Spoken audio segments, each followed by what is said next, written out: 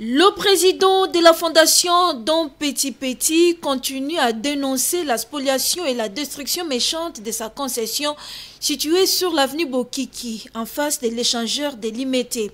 Concession réservée pour la construction de l'école et l'université pour les élèves et étudiants de cette fondation. Père Jacques Petit Petit pointe du doigt au bourgmestre de la commune d'Elemba d'être à la base de cette spoliation. Vous l'avez suivi vous-même, confirmé que lui n'était qu'un exécutant, qu'il avait reçu les ordres de l'hôtel de ville. Moi, j'ai dit, je doute fort que ces ordres, qu'il puisse être exécutant, parce que l'hôtel de ville est co-signataire et co-responsable dans la concession ou à brut le collège dont et l'université catholique dont Petit Petit.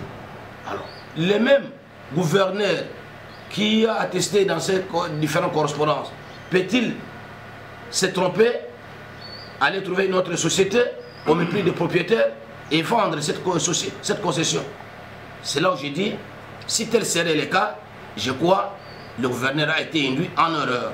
À en croire Jacques Petit Petit, la fondation dont Petit Petit a tous les documents et les lettres de conservation pour cet espace et il n'a jamais reçu aucun iota de la part de l'hôtel de ville comme certaines le pensent.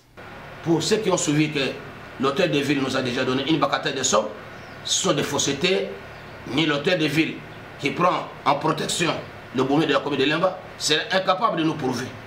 Donc aujourd'hui, nous sommes expoliés. Cependant, le père Jacques Petit Petit demande au ministre d'État, ministre de la Justice, de se saisir du dossier afin de remettre les élèves et étudiants dans leurs droits. Nous demandons au ministre de la Justice, qui nous a accompagnés dans les décisions qui ont abouti au titre que nous avons, de nous assister, de demander à ce fauteuil de troubles dans notre concession de suspendre toute activité. Sinon, ils nous verront et les parents, et les élèves, et moi-même, en soutane, si notre voix n'est pas écoutée, nous allons voir le chef de l'État, lui qui est le garant de l'État de droit.